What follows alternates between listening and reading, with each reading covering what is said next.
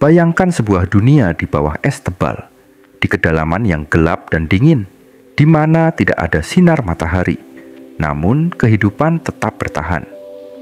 Pada tahun 2017, para ilmuwan menemukan sesuatu yang mengubah segalanya.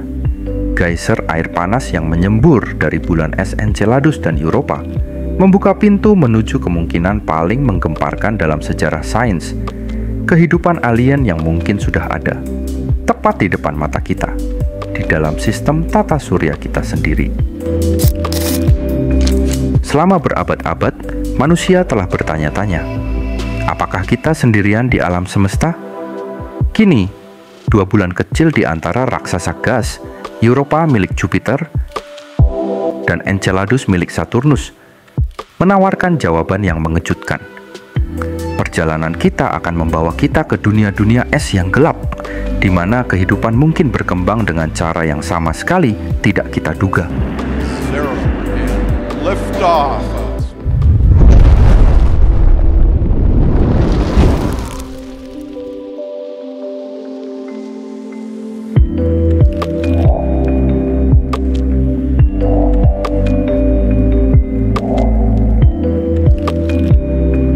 Kerak es yang retak, tersembunyi lautan global yang mengandung lebih banyak air daripada semua lautan di bumi digabungkan.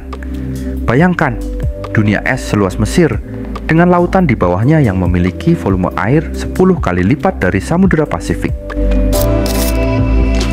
Gravitasi raksasa Jupiter dan Saturnus menciptakan gesekan internal yang menghasilkan panas. Sama seperti Anda bisa menghangatkan tangan dengan menggosok-gosokkannya. Panas internal ini mencegah lautan membeku, menciptakan lingkungan yang mungkin sangat mirip dengan sistem hidrotermal di dasar lautan bumi. Bagaimana mungkin ada kehidupan di tempat yang tidak ada cahaya matahari?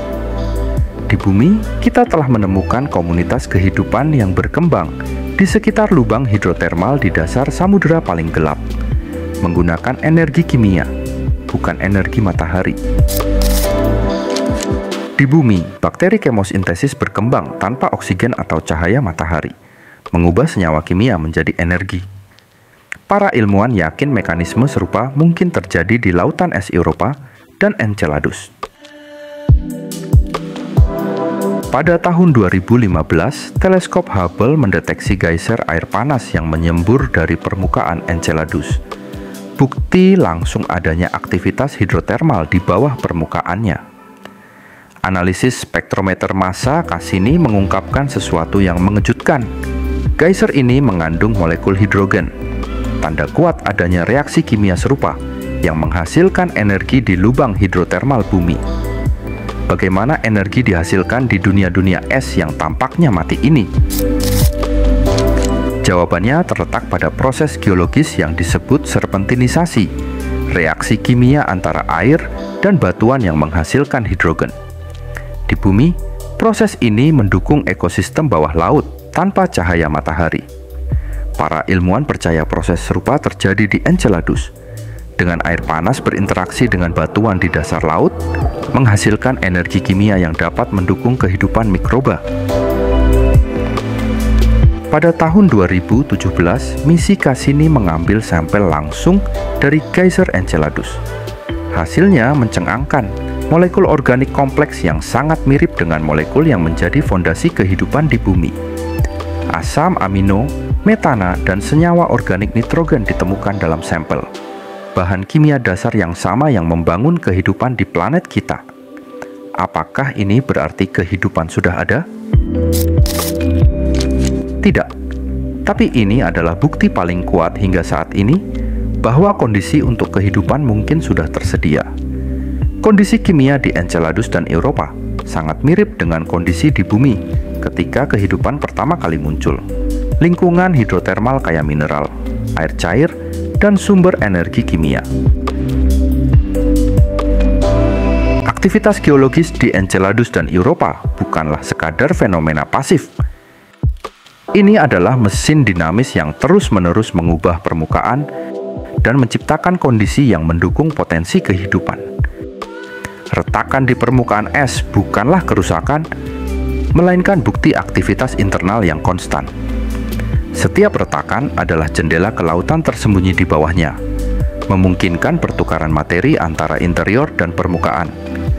Bagaimana mekanisme ini berbeda dari planet-planet mati lainnya?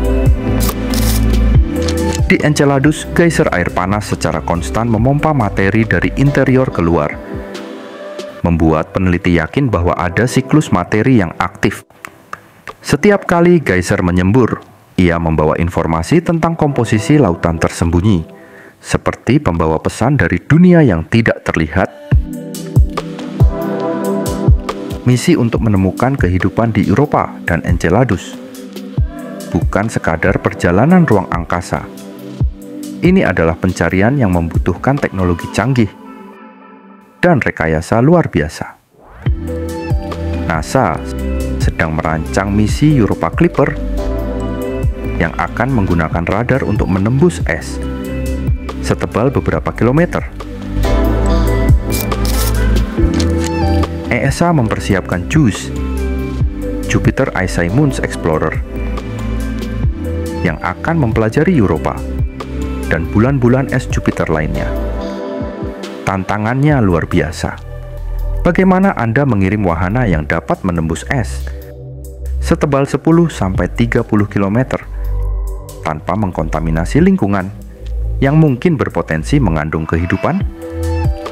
Setiap wahana harus disterilkan dengan standar yang sangat ketat, lebih bersih daripada ruang operasi untuk mencegah kontaminasi dengan mikroba bumi yang dapat merusak bukti kehidupan alien. Dalam perjalanan kita menjelajahi lautan tersembunyi Eropa dan Enceladus, kita tidak hanya berbicara tentang penemuan ilmiah, kita juga berbicara tentang potensi revolusi terbesar dalam sejarah sains manusia. Dari kepercayaan bahwa bumi adalah pusat alam semesta, hingga menyadari bahwa kehidupan mungkin tersembunyi tepat di depan mata kita di dalam sistem tata surya kita sendiri. Apakah kita akan menemukan kehidupan? Tidak ada yang tahu, tapi dalam pencarian itu kita sudah menemukan sesuatu yang jauh lebih penting. Bukti bahwa alam semesta jauh lebih ajaib, kompleks, dan penuh kejutan daripada yang pernah kita bayangkan. Apa pikiran kalian tentang potensi kehidupan alien di lautan es ini? Beritahu aku di komentar. Jangan lupa untuk like, subscribe, dan aktifkan notifikasinya. Sampai jumpai di video berikutnya.